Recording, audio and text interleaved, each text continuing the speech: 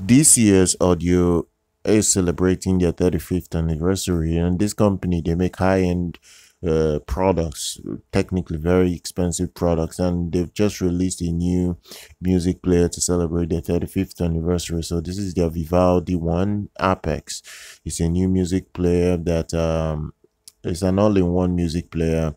It's coming with new generation Ring DAC Apex technology that uh, was recently announced. Uh, was last year, and uh, it's only going to be limited to only 50 units uh, worldwide, pretty much, and it's very expensive. It's going to be priced at 76,500 euros.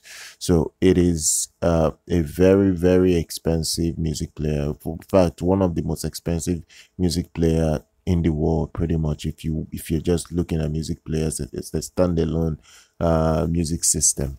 It is very expensive. Uh, it comes in an anodized silver or black color, so it depends on what you want.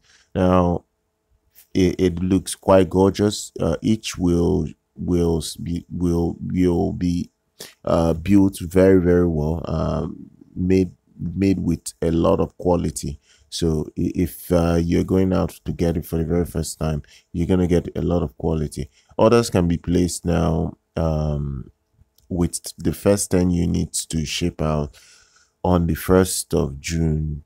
Well, the remaining units will start shipping in July. So it really looks quite uh, interesting. So the Vivaldi one, uh, this new model, uh, it, it it's going to support C, CD, SACD. Um, it, it has an upsampler it, it, it includes um, support for MQA and works with streaming services and even multi-room platforms like Roon, Tidal, Qobuz, Deezer. So it does that really, really well. And it looks really, really cool. Connectivity on it um, is very, very cool. You have uh, your digital inputs um, and, and um, it does it does um, support high-res audio as well. So that that's something that a lot of people would uh, appreciate. Right now it's being demoed at uh, the latest um, Munich high-end audio show uh, that's gonna go on. Uh, so if you if you're interested do check the description. Everything about it will be there. Uh, so do check it out. Do subscribe to the channel. I'll see everybody very much next time